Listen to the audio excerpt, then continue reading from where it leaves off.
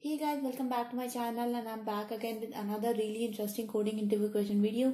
This time guys, we are going to solve question number 455 of LeetCode called assign cookies. Before I start with the problem statement guys, if you have not yet subscribed to my channel, then please do subscribe and hit the bell icon for future notifications of more such programming and coding related videos. Let's get started with the problem statement so guys what we are given here are two arrays okay? Basically one array is called as the g array which is uh, a greedy array. And the second array is called as the s array which is the size array.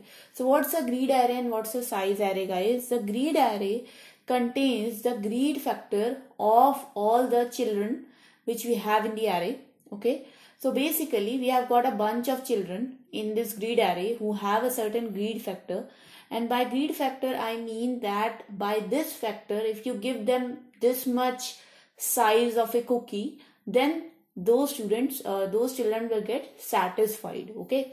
So for example, in this case, uh, the child at index 0 has a greed factor of 1. So if you give this child a size of uh, a cookie of size 1, then this child will be satisfied, right? Second, we have a size array, which is the S array, and this size array is uh, having the sizes of all the cookies that we have. Okay. So what we have to do, we have to basically find out the maximum number of children we can satisfy by giving out these cookies. Okay. So basically, so in this case, let's take one example. We have got a size array in which we have got two cookies. Both the cookies have size 1 and then we have got a greed array in which we have got three children. And all the children are having a greed factor of 1 2 and 3 so if we try to give uh, these cookies to these children even if we give the first cookie to first child then this first child will get satisfied because his greed factor is 1 and the size of the cookie is also 1 now we go to the second child and we try to feed the second child with the cookie size 1 then this child will never get satisfied because his greed factor is greater than the size of the cookie. Same with the third child as well. So uh, even if we try to feed both the cookies to all these children we will only be able to satisfy one child because only the child at index 0 has the greed factor of 1 which matches the size of the either cookies. Okay so that's why the output is 1 because we want to find out the maximum number of satisfied children. Okay remember guys that we can give only one cookie to one child. So we cannot give two cookies to one child. So we can't uh, make sure that one plus one it can be fee fed to one of the child here. We can give one cookie to one child. Let's go to another example so here you can see that we have got two children here. One is having greed factor of 1, other is having greed factor of 2.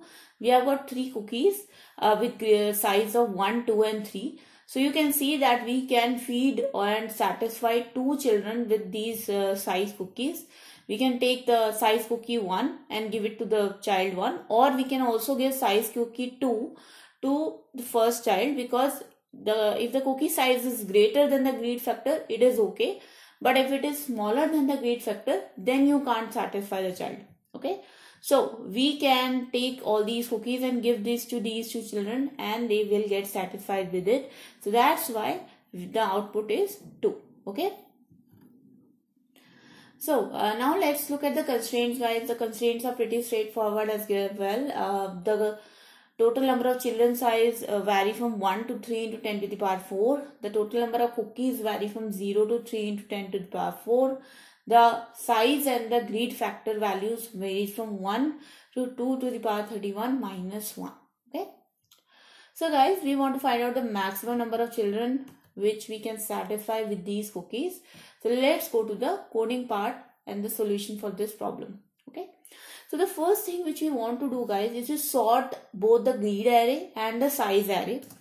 So let's do the sorting and we want to do the sorting of these two arrays because we want to make sure that uh, the first greed factor which we should encounter in the array should be the smallest greed factor and we should compare the smallest greed factor with the smallest size of the cookie and then so on and so forth so that we are able to uh, satisfy the smallest greed uh, the yeah the least greedy student or least greedy child with the smallest size cookie. And then you know furthermore uh, greater greedy child with the greater size cookie so on and so forth. So that's why let's sort the two arrays. Now i am going to create a result value and initialize it to 0 now we are going to create two um, indexes here. One is going to be the index i which is going to take care of our greed array.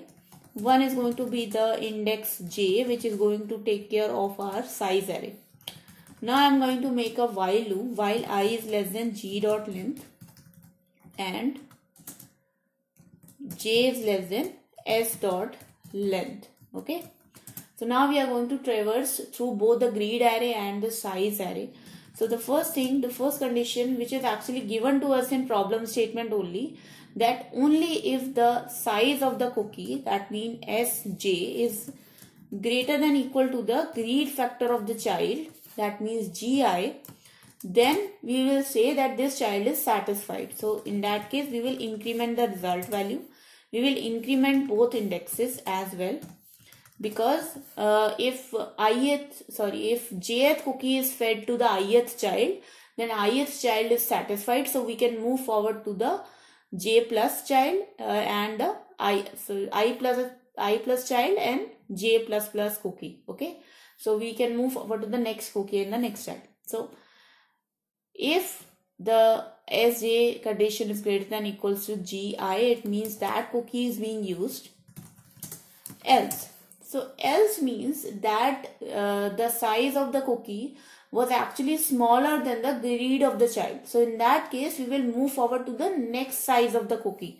So in that case, we will remain at the same child. The i value will remain same, but the j value will be incremented because now we will start checking the next bigger size cookie to see if that satisfies the ith child. Okay.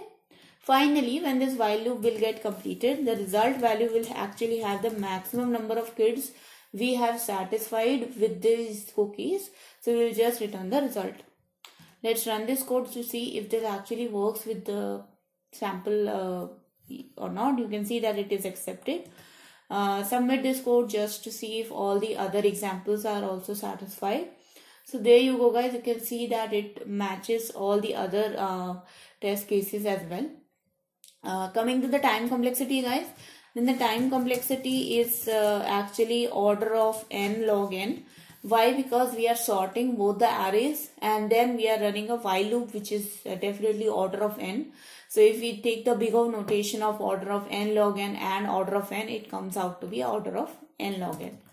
If we talk about the space complexity guys, obviously this is going to be order of 1. 1 for us because we are not taking any extra space but yes, it does depend upon the sorting algorithm being used internally because we are not taking into consideration that you can just say that the space complexity is order of 1. Okay. So that was the problem statement and that was the solution guys. I hope the solution was clear enough to you and your coding practice became a little bit better. If it has guys then please do not forget to like this video, share this video with your friends as well. If you have not subscribed then please do subscribe to my channel and hit the bell icon for future notifications of more such videos and uh, please guys write down in the comment section below anything you want to say to me. Any feedback is welcome. I will love to hear about your opinions and uh, more about what you want to see next. And uh, thank you so much for watching guys. I'll see you guys in the next video. Until then take care and bye bye